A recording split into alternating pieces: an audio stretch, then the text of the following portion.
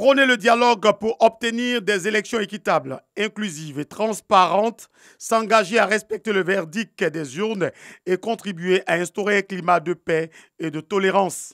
C'est tout le sens de la cérémonie de signature du Code de bonne conduite des partis et groupements politiques candidats aux élections.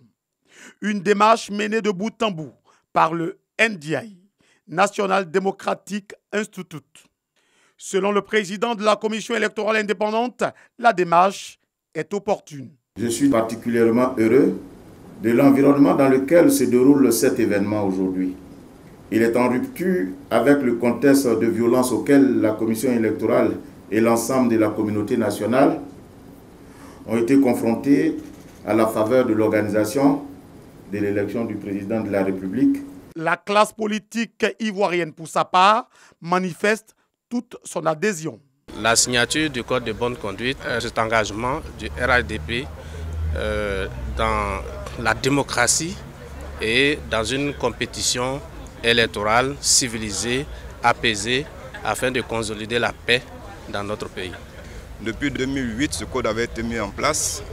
Il a été aménagé et aujourd'hui nous signons sa nouvelle mouture qui vise un seul objectif, c'est demander aux Ivoiriens, quels qu'ils soient, candidat de quelque parti politique qu'il soit, de s'inscrire dans la dynamique de paix. Pour rappel, le NDI facilite le dialogue entre les différents acteurs politiques depuis 2017. À présent, ce code de bonne conduite entre en vigueur puisqu'il vient d'être signé par les parties prenantes.